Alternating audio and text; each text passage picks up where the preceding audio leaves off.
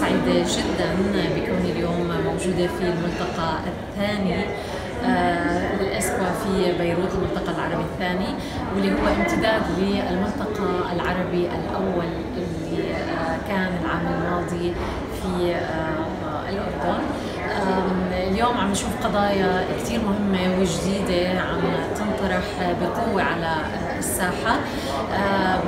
يمكن بعض القضايا كان كنا تحدثنا فيها من زمان ولكن لما يكون في عليها تسليط للضوء بشكل آه، دولي أكيد بتكون ردات الأفعال مختلفة. المنتدى الملتقى الأول عفوا العربي اللي كان بعمان كان من أجل المساواة وكان لدعم الشباب. اليوم عم نحكي عن الأمن الغذائي هاي القضية المجتمعية المهمة جدا واللي بتأثر على كل دول آه، العالم. وإذا عم تحدث آه، عن المرأة وعن الشباب فبنقدر نقول إنه المرأة يعني هي ما بدي أقول ضعيفة هي فئة قوية ولكن تستحق أن نوقف جنبها ونكون جميعا خلفها وبتستحق اولا آه، المساواة في الفرص آه، بتستحق مستقبل أفضل وأيضا آه، أمن غذائي لأنه المرأة هي الأم وهي نصف المجتمع هي الداعمه وهي العامله وهي الست اللي بتربي وبالتالي بتستحق الأمن في كل شيء.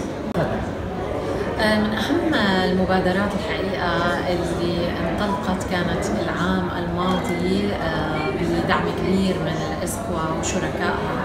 كانت مبادرة آه، جسور وتم تدشين منصة جسور. منصة جسور آه، يمكن بشكل مبسط جدا هي عبارة عن منصة إلكترونية إقليمية بتهم جدا المرأة وبتهم الشباب. ولما أقول المرأة وبتهم الشباب يعني عم بحكي عن الشباب والشابات.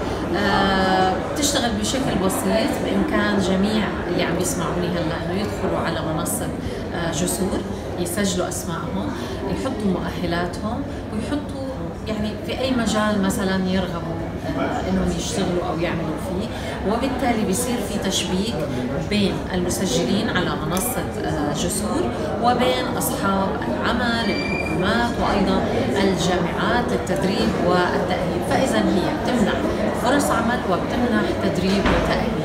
وبالتالي بعتقد إنه هيك عم نحاول عم نحاول لأول مرة يمكن بالعالم العربي إنه نلم آه، كل هالعدد الكبير من الشباب والشابات اللي ممكن للأسف يعني لسبب ما مثل كوفيد 19 وغيره عزز موضوع البطالة في عالمنا ويعني انعدام الفرص.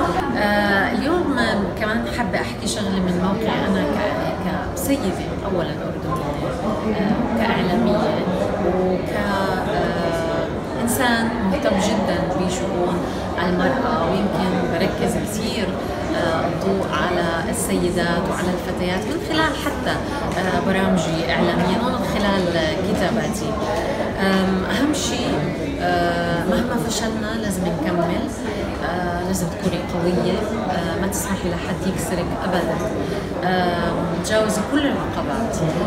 ما تفكري أي ضحكة ما في كان وراها دمعة. ما تفكري أي خطوة كان قبليها في كبوة. بس المهم دائما تكوني متأكدة ومقتنعة إنه اللي بيكمل الطريق بقوة. معلش امسحي دموعك. di comprarla.